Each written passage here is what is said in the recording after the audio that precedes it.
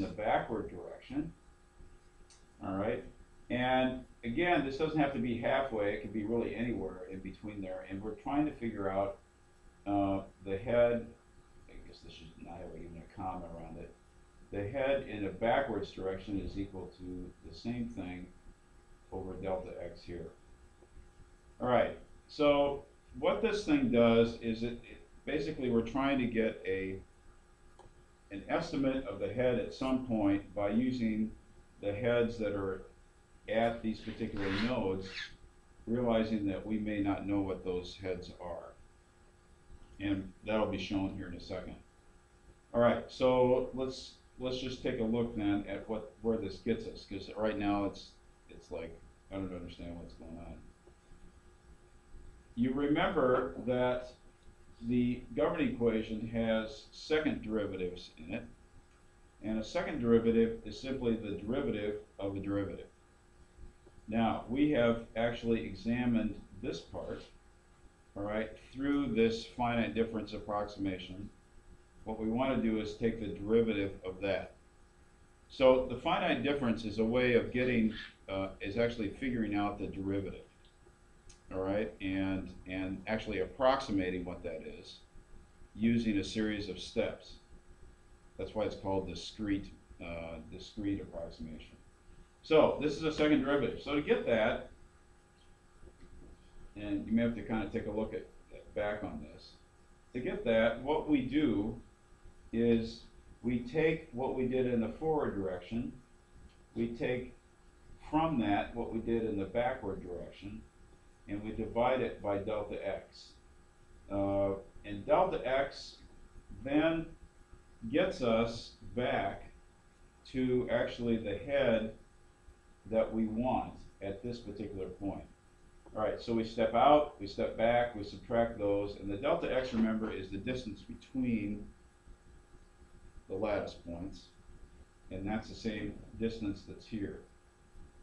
All right, and this then is an approximation of the second derivative in finite difference form in the x kind of direction. It's like, oh god, what's this going to? So you could use this. This is essentially what you did when you did the kind of the iteration exercise uh, in the column. All right. What we're going to do here is we're going to uh, actually have this iterate and come to a solution that solves this. Right. It's a very simplified way finite element methods go a whole different direction, all right, and use a whole different set of functions that are difficult to kind of show this way. This, you can think of it as an average averaging technique, all right, and that's all it is. All right, so uh, if you combine terms, if you take this, you notice that ij appears twice, you get this, and you pull the x into here, all right, and combine those terms, you get this. And so this solves for head at some point ij, all right, um, basically using this, and the characteristic of this is this 2hij term. So you're solving for head at a point, but that head is also in the equation on the right. So this generally means that there will be a uh, some kind of a iteration procedure to deal with that. Remember, you've had probably equations with unknowns on both sides or something. That's an example here. Um, all right, so this is the equa this is the equation for a single row, and uh, assuming you know x, and if you know this, and you've known this, and we'll show why this works in a second. Okay, so I think pretty easy so far. And when you see how this works, you'll be amazed that it actually does work. Now, if we want to do J, or the Y direction, these are the columns, then we would go the other way. So we would have a, uh, something that goes like this. All right? And uh, the same kind of deal, I just skipped the steps. And this solves for head along a single column.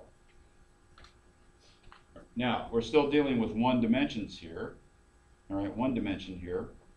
And Mitch, you'll notice that what we've done here is we've said you know, head here is, that's minus, this is plus. And the reason that we do it this way is because, uh, the sweeping arrangement that we use when we solve these goes like this. So this one is always the head that we know, this is the head that we don't know. And so it, it needs, these need to be the old values, these need to be the new, so that the minus ones are back on this side. It's just a convention to kind of keep us, um, kind of sane, I guess. All right, so we've got two equations, both one-dimensional in form.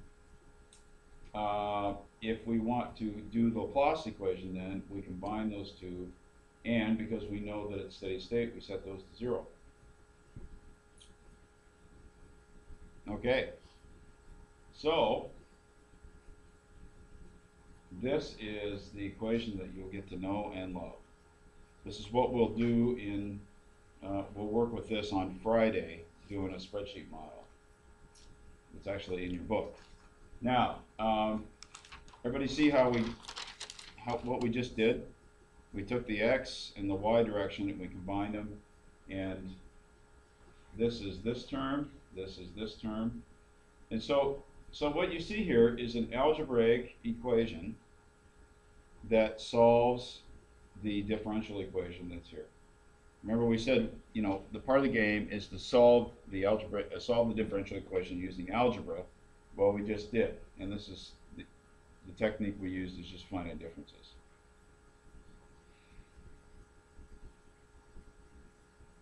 Now, I, you know, I do post these up on the web, so if you don't want to write them down, you know, feel free. I see some of you are feeling free not to write them down. Aaron's already seen all this, so. Okay. Um, so we've got that. Now what we need to do is to combine terms. All right, and we can do that because the hij appears in both sides. Um, and so this means that these four minus the head that we're looking for is equal to zero. And then we can solve for that head. And this is the kicker. So what this says